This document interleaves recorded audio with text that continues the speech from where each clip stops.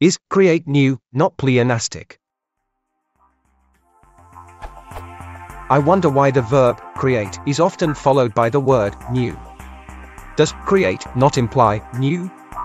When I read, in programming languages, for example, create a new object, should I read it as create an object with exactly the same meaning?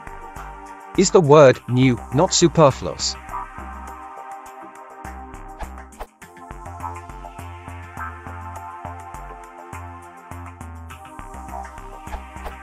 Create a new something is not always redundant. Even if it is slightly, it definitely connects the new created thing with what existed before it. For example, if you read, I am asked to create a Gmail account. It is probably your first.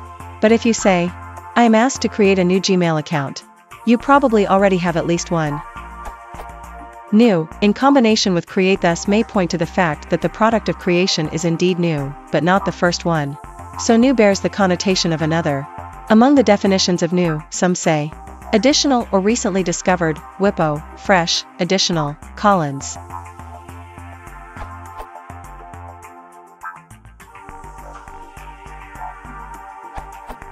It is pretty much idiomatic and the usage goes far back, as early as 1540 per the earliest citation in OED where it was used as create a new something.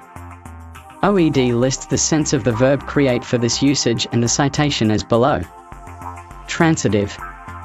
To make, form, set up, or bring into existence, something which has not existed before, to produce, a work of imagination or invention, an artifact.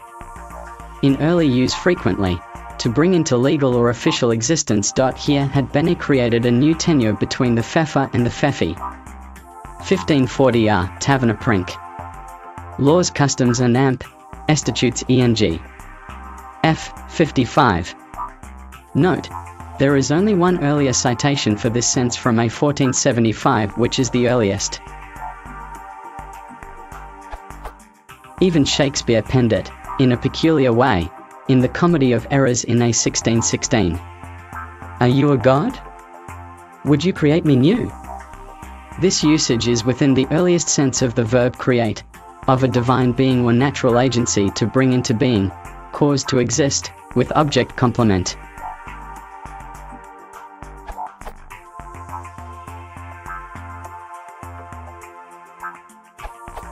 So, when I read in programming languages for example, create a new object, should I read, create an object, with exactly the same meaning? No, you should read, create an object that is not the same as those objects previously created, i.e. do not recreate an earlier object.